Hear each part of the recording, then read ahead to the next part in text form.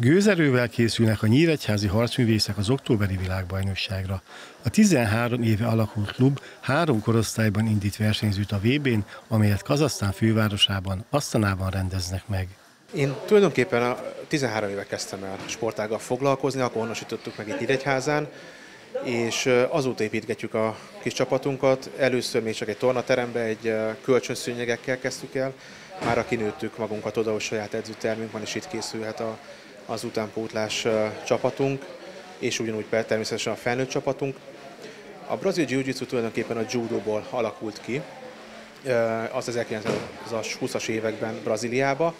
De tulajdonképpen a lényege és az alapkoncepciója az volt, hogy az ellenfélhez közel kerülve csökkenteni tudjuk az ütések és sugásoknak a, a, az erejét és hatékonyságát, és földre véve pedig különböző technikákkal feladásra tudjuk kényszeríteni, Mára már a brazil jiu-jitsu önálló versenysportágán nőtte ki magát, amiben már nem használunk ütést és rugást, hanem abszolút dobások, földrevitelek és leszorítások és különböző feladások készítési technikák vannak.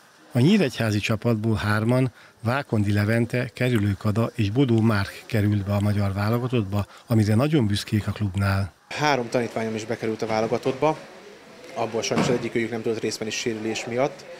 Eh, az Európa Bajnokság egy pontszerző ötödik helyjel eh, jöttünk haza, mi úgy gondolom, hogy eh, mivel a srácoknak ez volt az első nagy nemzetközi versenyük, ez egy igen szuper eredmény, és bizakodva készülünk az októberi világbajnokságra.